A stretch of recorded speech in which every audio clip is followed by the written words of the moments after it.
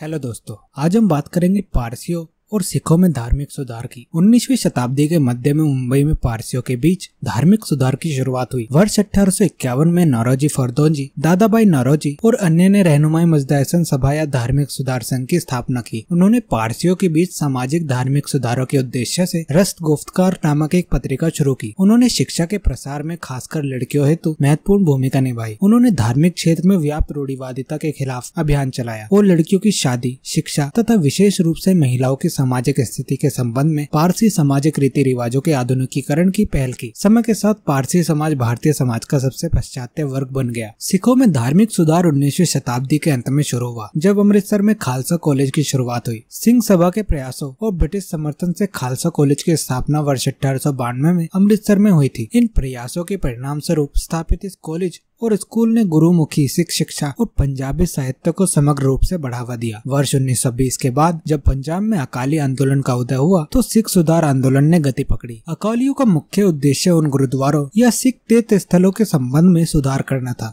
जो की पुजारियों या महंतों के नियंत्रण में थे जो उन्हें अपनी निजी संपत्ति मानते थे वर्ष उन्नीस में एक कानून पारित किया जिसने शिरोमणि गुरुद्वारा प्रबंधक समिति को गुरुद्वारे के प्रबंधन का अधिकार दिया तो ये थी कहानी पारसियों और सिखों में धार्मिक सुधार की वीडियो पसंद आए वीडियो को लाइक करें सब्सक्राइब करें और कमेंट जरूर करें